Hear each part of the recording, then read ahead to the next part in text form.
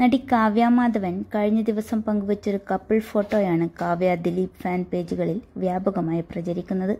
നടി മീരാനന്ദന്റെ വിവാഹത്തിൽ പങ്കെടുക്കാനായി ഒരുങ്ങിയിറങ്ങിയപ്പോൾ പകർത്തിയ ഫോട്ടോയാണ് കാവ്യ പങ്കിട്ടിരിക്കുന്നത്.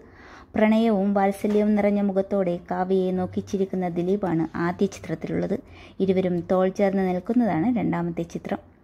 ലാവണ്ടർ നിറത്തിലുള്ള ഷർട്ടും ലാവണ്ടർ നിറത്തിലുള്ള ബോർഡറുമുള്ള മുണ്ടുമായിരുന്നു ദിലീപിന്റെ വേഷം.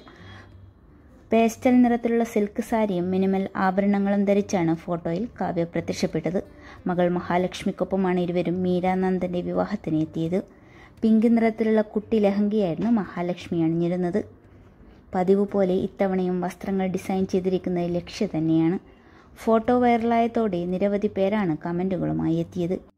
എവർഗ്രീൻ ജോഡി എന്നേക്കും ഒരുമിച്ചായിരിക്കാൻ സാധിക്കട്ടെ എന്നാണ് കമന്റുകൾ ഏറെയും. മീരാനന്ദന്റെ വിവാഹം താരനിബിഡമായിരുന്നു.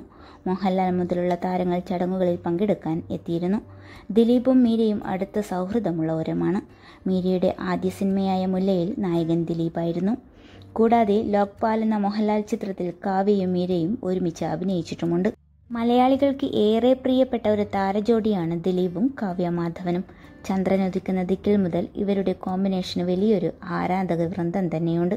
എട്ട് വർഷം മുമ്പ് ഇരുവരും യഥാർത്ഥ ജീവിതത്തിലും ഒന്നായപ്പോൾ മുതൽ താരജോഡിയുടെ ഓരോ ചെറിയ വിശേഷവും സോഷ്യൽ മീഡിയ വലിയ രീതിയിൽ വൈറലാക്കാനും ചർച്ച ചെയ്യാനും തുടങ്ങി. ദിലീപുമായുള്ള വിവാഹത്തോടെ അഭിനയത്തിൽ നിന്നും കാവ്യ ഇടവേളയും എടുത്തു. ഇപ്പോൾ കുടുംബജീവിതവും ലക്ഷ്യ എന്ന വസ്ത്ര വ്യാപാര ബിസിനസ്സും മാത്രമാണ് കാവ്യയുടെ ലോകം. ഒട്ടുമിക്ക യാത്രകളിലും പ്രോഗ്രാമുകളിലും മക്കളെയും ഭാര്യ കാവ്യയെയും ദിലീപ് ഒപ്പം കൂട്ടാറുണ്ട്.